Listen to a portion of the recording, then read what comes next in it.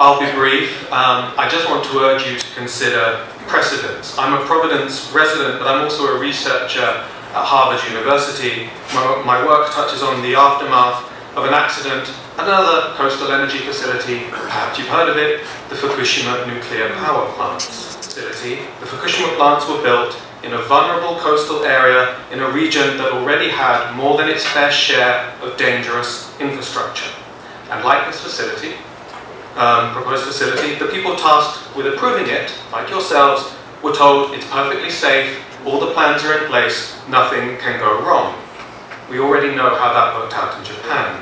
And you've already heard from the people, including from people who've worked in this particular industry, that the safety proposals are vague or inadequate, and that's not to mention the inherent dangers facilities like this carry, no matter how carefully they are engineered.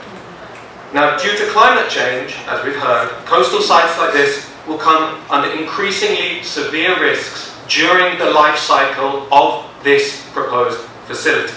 Risks that could severely compromise coastal resources, the resources you're tasked with protecting, and more importantly, the people. Now, as someone professionally and personally familiar with the fallout of accidents at coastal energy facilities, let me tell you very clearly, they cannot tell you that it will be safe. Thank you.